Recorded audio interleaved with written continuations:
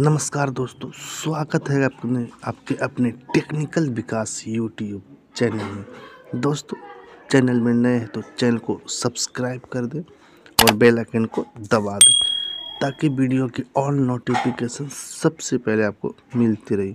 दोस्तों, आज हम लोग सीखने वाले हैं साइड बैक सेटिंग, जो अपने मोबाइल में साइड बैक सेटिंग करते हैं दोस्तों, जो चलाने में अपने मोबाइल बहुत ही ईजी होता है दोस्तों।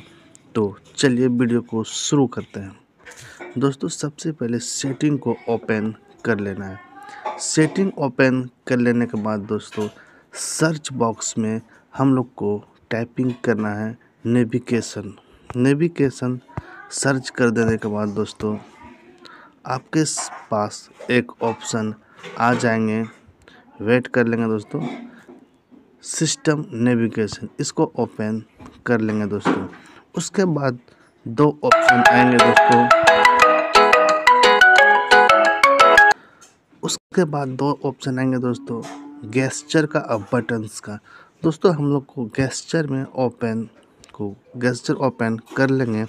उसके बाद लर्न में क्लिक कर देंगे दोस्तों।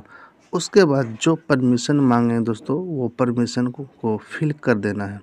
उसके बाद फिर लर्न को क्लिक कर देंगे दोस्तों। उसके बाद अप कर देना है दोस्तों साइड अप देख सकते हैं दोस्तों नाइस उसके बाद फिर से अप करना है दोस्तों। फिर से अप करना है दोस्तों।